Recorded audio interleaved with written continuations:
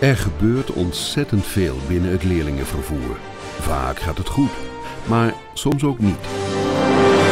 Goedenavond en welkom bij Nova Den Haag vandaag. Kinderen die rondstuiteren in een busje en als vee worden vervoerd.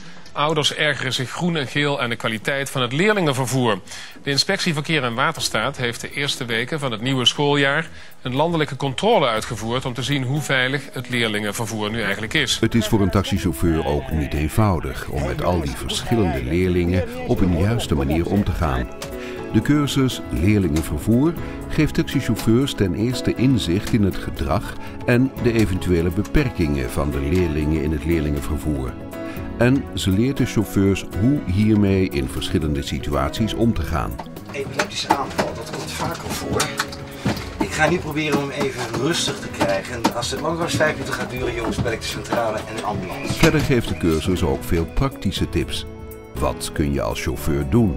En nog belangrijker, wat kun je beter niet doen? Deze heb je niet nodig, hè?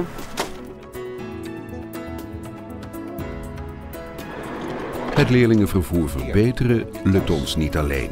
Daar hebben we de hulp van ouders en scholen bij nodig. Want hoe goed een chauffeur ook getraind is, als hij niet op de hoogte is van de eventuele beperkingen van de leerling of niet weet wie hij moet raadplegen in geval van nood, kan dit leiden tot ernstige misverstanden. Samen kunnen we zorgen voor een beter leerlingenvervoer. U doet er ook mee? Uh, ik ben tas vergeten. Thomas, weet je hoe laat het is? Die neem je morgen maar mee, oké? Je kan wat mij betreft de boom in. De cursus Leerlingenvervoer is een initiatief van het Sociaal Fonds Taxi en in haar opdracht ontwikkeld. Met speciale dank aan de CED-groep, ABC Taxikeurmerk Advies en Trainingen en de verschillende ervaringsdeskundigen. Kijk voor meer informatie op www.sociaalfondstaxi.nl